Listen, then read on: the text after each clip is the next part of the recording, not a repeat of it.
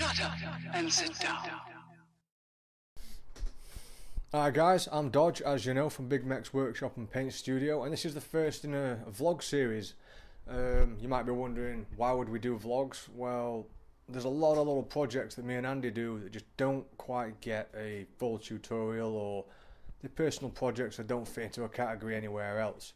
I apologise for the terrible lighting in this uh, bit of video, but I wanted to show you where I've spent nearly all of my time because you may have noticed I've not been on the videos uh, much recently or doing done many tutorials, and that's because Andy's been doing all of that while I've been editing them up, doing all the photo work. If you uh, go on the actual channel and look, you'll see all the thumbnails are slowly changing to look a bit more uniform and a bit more professional, which takes a considerable amount of hours to uh, to achieve.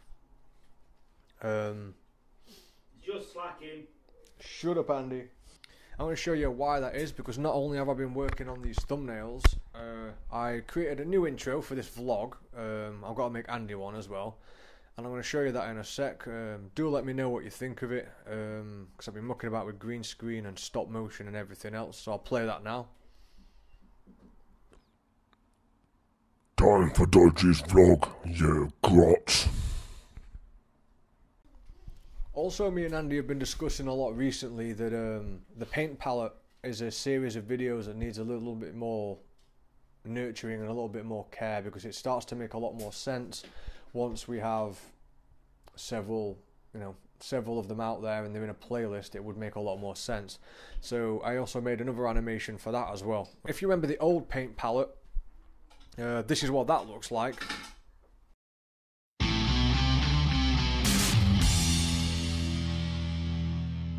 Shut up and sit down. which is which is terrible to be honest. It looks uh, really cheap and tacky, uh, but I spent a lot of time working on it, and now I've ended up building this one.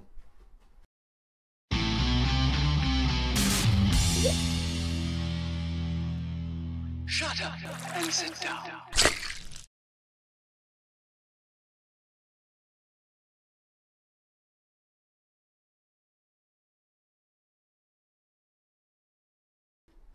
I'm still working on the Talon pain engine.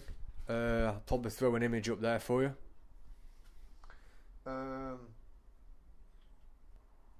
yeah, and there's only really one more animation. I just wondered what you guys thought because I've put a lot of time in this. You will start to see me do my own personal army on this vlog. Same with Andy and uh, his personal projects.